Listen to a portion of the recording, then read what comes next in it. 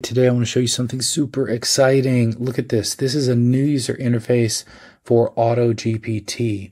AutoGPT is a, a self-prompting system for GPT-4, but I found this today when I was on Twitter and I saw this uh, for Agent GPT, which was an attempt at creating a nice browser interface for AutoGPT.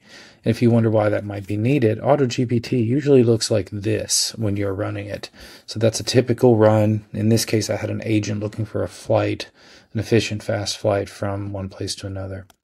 And the thing is that uh, instead of looking like this, now you can look like this. Now, this version here is running on their servers. It's wonderful if you want to just get a feel for this, but you will be limited in some of your capabilities. They're actually letting you use their OpenAI key here unless you click on settings and put in your own key and if you have access to GPT-4, then AutoGPT will have access to GPT-4, and that's super cool. I do happen to have that. So I went to their GitHub repository uh, here at Reworkd Agent GPT, and I forked it, and then I have downloaded that fork, and then I have followed their instructions to create a Docker container that that runs AutoGPT within it that I can then access on my own computer.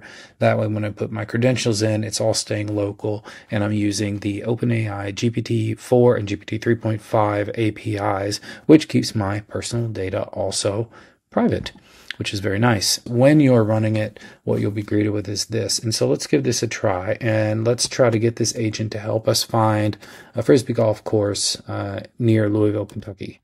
Frisbee Golf Finder. Oops, not gold. Frisbee Golf Finder. And find me the best and highest rated Frisbee golf golf gold on my mind golf golf golf courses in or near Louisville, Kentucky. All right, so that's the agent's goal. It has a name. We're going to deploy it. So now you can see this is really nice. It looks good. Uh, the the everything's good. If we want to copy any something, and we've got these little things here we can do. We can take a picture. We can save the output. But you can see what it's doing here is it's attempting to search the internet. Right? It says retrieve a list within a 25 mile radius of Louisville from a trusted database. And so it has gone and it has searched the internet and it has come back with this lovely list right here of and this is correct. I'm familiar with these. And let's see what else it thinks it needs to do to finish this job. Oh, it's checking on the highest ratings. So it's saying of this list right here, the ones that are considered the best are the highest rated, which are Charlie Vettiner, Severin, Lang, and Otter Creek. Awesome and it'll keep going. The task is basically done at this point. Uh, but what it's going to do next is this, oh, okay, sorry, I didn't tell you exactly where they were. So it's gone and it's giving us an actual score for each one and it's giving us an address. That's going to be really helpful later if I want to find this and go there and play. And what else? What else? It looks like we're about done here.